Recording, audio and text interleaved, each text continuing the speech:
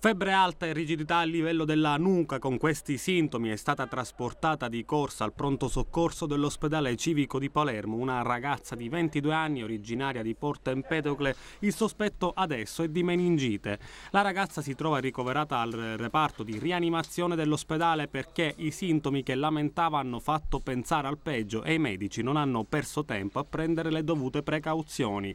A dare certezza sulle cause del malore sarà l'esito dell'esame lombale L'ASP di Palermo ha già avviato la profilassi anche per le persone vicine alla ragazza, che consiste nella somministrazione del vaccino. Se venisse confermato il caso di meningite sarebbe l'ottavo in Sicilia dall'inizio dell'anno, il secondo nel giro di due mesi.